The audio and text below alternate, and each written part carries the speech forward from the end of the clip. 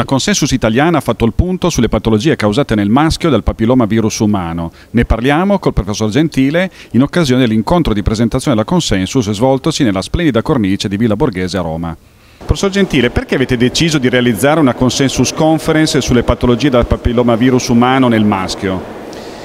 In realtà ehm, doveva spingerci la diffusione, eh, un'alta diffusione del papillomavirus nella popolazione, sia maschile che femminile e per i risultati e, ehm, e per ciò che determina nella donna il papillomavirus, il carcinoma della cervice i condilomi acuminati insomma, e i tumori del tratto orofaringeo ma chi è stato soprattutto a stimolarci è stata una lettera, un contatto con l'Istituto Superiore di Sanità eh, nella persona della dottoressa Barbara Suligoi che dirige il centro operativo AIDS dell'Istituto Superiore di Sanità che eh, sentiva l'esigenza di far chiarezza su alcune problematiche. Mi spiego meglio. L'Istituto Superiore ha un centro sentinella di sorveglianza delle infezioni sessualmente trasmesse che dispone di 12 centri operativi eh, sul territorio, eh, centri altamente specializzati da qui sono nati dei risultati, cioè il 33% delle infezioni delle vaginite uretrite non gonococciche e non clamidiali sono legate all'HPV, così come il 27% dei condilomi acuminati. Si sentiva l'esigenza di creare delle reti territoriali per andare a investigare sulla popolazione generale e quindi venivamo stimolati ad attivare gli urologi, gli andrologi del territorio per procedere a questo aspetto, su questo aspetto. Ecco, quali sono le società scientifiche che hanno collaborato alla Consensus Conference, professore?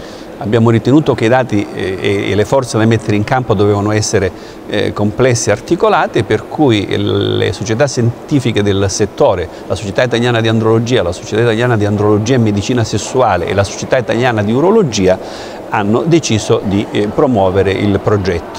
Ecco, come avete lavorato? Come è stata organizzata la Consensus? Era importante eh, partire eh, da dei dati eh, reali, dei dati basati sull'evidenza eh, medica della letteratura internazionale e, e, allora si è pensato di, di avere e di ottenere questo attraverso una consensus conference. La consensus conference viene articolata eh, e viene messa in, in, ehm, in, attività da un comitato promotore che mm, nomina un comitato tecnico-scientifico che rappresenti eh, le le pluridisciplinarità, che rappresenti la professionalità eh, di vari settori eh, della medicina che con un'attenta analisi di eh, naturalmente controllo dei dati della letteratura, di, di, di dati basati sull'esperienza dei centri di riferimento nazionale e internazionale, potesse arrivare a un risultato e un risultato che andava a stabilire l'impatto dell'HPV nelle patologie eh, adesso correlate, i dati epidemiologici e naturalmente l'importanza di strategie terapeutiche per prevenire, eh, per prevenire la malattia. Dove verrà pubblicato il documento, professore? Il, la Consenso ha portato a termine il suo lavoro che poi veniva presentato a una giuria e la giuria ha il compito di valutare criticamente i risultati, tutto questo è stato fatto, è stato preparato un volume cui, eh, che sarà presto in distribuzione su tutti i siti delle società scientifiche e a disposizione delle varie istituzioni e poi sarà ehm, eh, tratto un abstract, un paper, un lavoro che andrà su una delle più importanti riviste scientifiche del settore. Ecco perché è importante avere un documento di consenso italiano?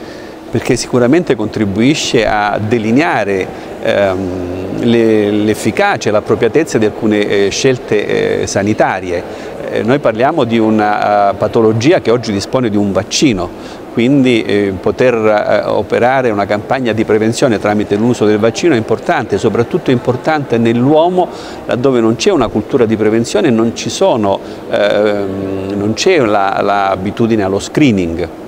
Ecco, quali sono i possibili sviluppi di questo progetto che lei vede?